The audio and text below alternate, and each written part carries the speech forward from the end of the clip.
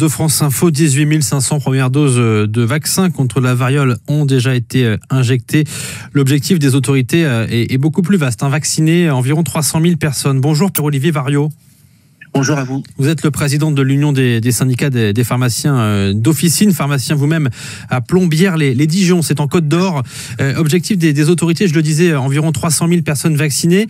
Ça passe forcément à terme par, par la vaccination en pharmacie?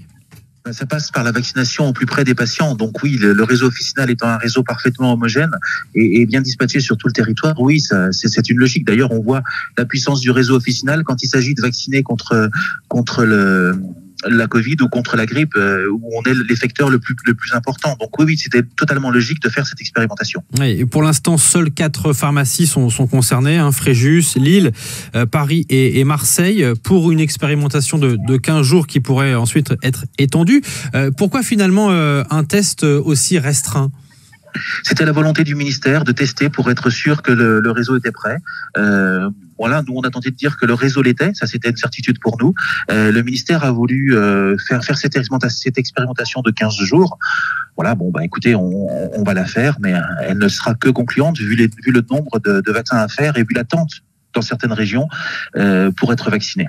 Est-ce qu'il y a des difficultés euh, particulières posées par, euh, par ce vaccin-là, en particulier ce vaccin contre la, variole en termes de conservation? C'est ça aussi qui peut peut-être expliquer la modestie, en tout cas, de cette expérimentation?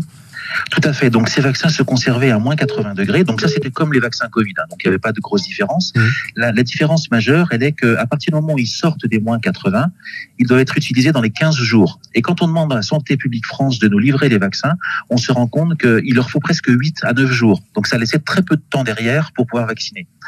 Donc c'est pour ça qu'on a choisi une autre mode d'approvisionnement pour l'instant, qui était via les PUI des hôpitaux, euh, pour une, livraison très rapide des officines pour pouvoir optimiser le temps de vaccination. Donc via les, pharmacies, les hôpitaux, c'est ça?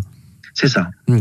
Euh, il y a eu aussi visiblement quelques, quelques ratés dans les centres de vaccination euh, actuels, des vaccins euh, rendus inopérants justement par une rupture de la chaîne du froid, des, des gens qu'il faut revacciner. On sait qu'en termes de doses, on n'a pas le chiffre exactement, mais on sait que la, France est tout de même limitée.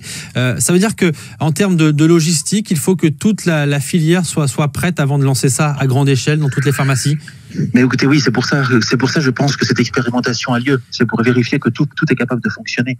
Nous, on va demander aux grossistes répartiteurs qui nous livrent tous les jours, même plusieurs fois par jour, les médicaments, de faire ce, ce trajet entre les PU des hôpitaux et les officines.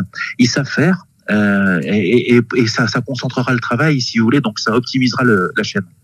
Euh, vous l'évoquiez tout à l'heure, hein, euh, euh, Pierre-Olivier Vario, l'expérience des, pharmaciens en termes de vaccination est forte et reconnue. Maintenant, il y a la grippe chaque année, les vaccins anti-Covid, le réflexe, ça y est, a été pris par, par les Français. pour le Covid, ça avait tout de même pris un peu de temps cette, de faire confiance en tout cas aux pharmaciens. là, on a une expérimentation qui, somme toute, est assez rapide pour la variole du singe, apparue assez récemment.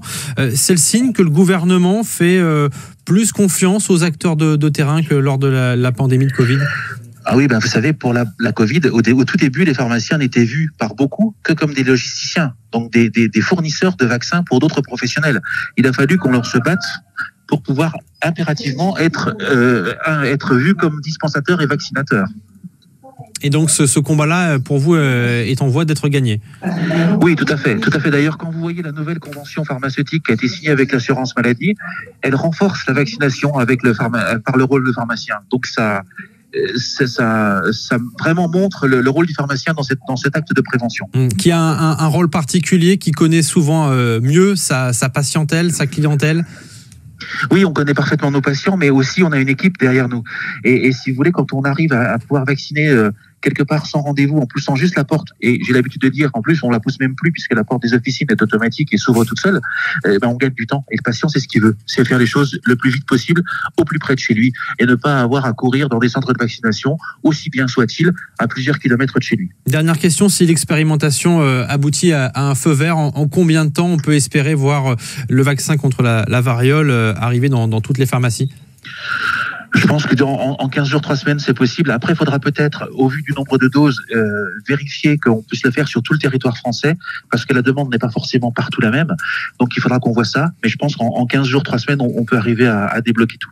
Merci beaucoup Pierre-Olivier Vario, président de l'Union des syndicats des, syndicats de pharmaciens d'officine, l'USPO pharmacien, vous-même à, à Plombières les Dijon en Côte d'Or, invité ce matin du 10-14 de France Info. Merci beaucoup.